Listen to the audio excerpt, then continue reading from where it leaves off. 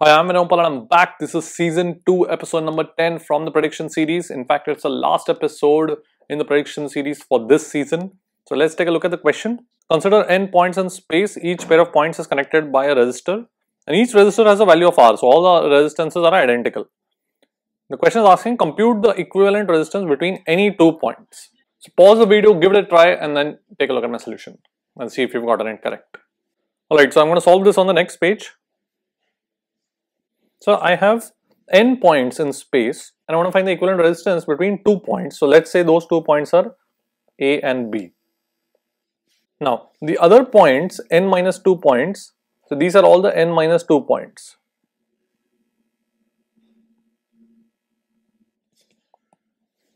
Now you should be able to realize that all these n minus 2 points are equivalent. These are just random n minus 2 points. Their location in space has no consequence on the circuit. And therefore, if I have any resistance between these n minus 2 points, all of those n minus 2 points are at the same potential. So, there will be no current in any of these resistances. And therefore, I can just remove all these resistances connected between any, any pair of points among these n minus 2 points. And therefore, the only current that will flow is from A to one of these points and then to B.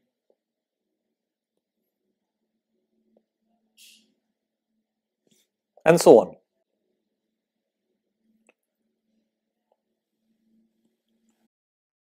And of course, I'll have one resistance connecting A and B directly. Okay, so all these pairs of resistances here will now be in series. So I can just redraw my diagram as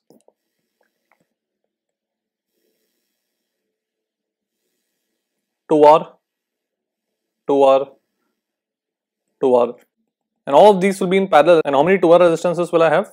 I have n minus 2 points. So I'll have n minus 2 such rows of 2R and finally I'll have a resistance that is connecting A and B directly of R. So now it's very straightforward. You just have to add up all of them in parallel.